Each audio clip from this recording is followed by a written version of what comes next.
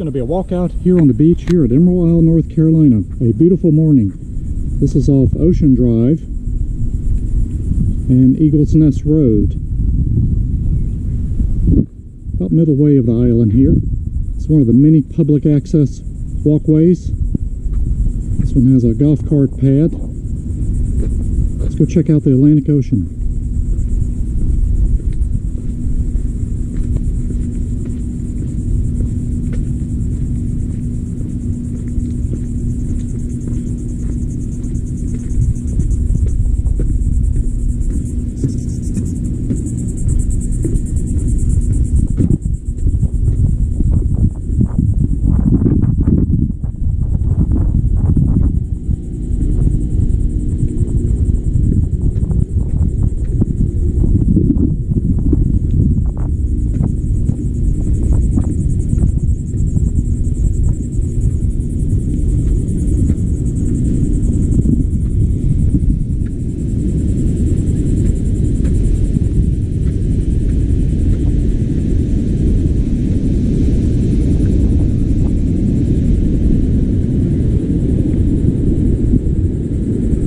See a yellow flag in the distance showing it's safe to swim today.